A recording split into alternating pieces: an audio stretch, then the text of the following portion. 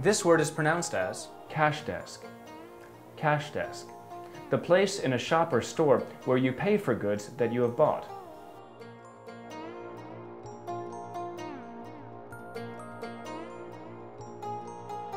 For more words and meanings, click and subscribe to Word World.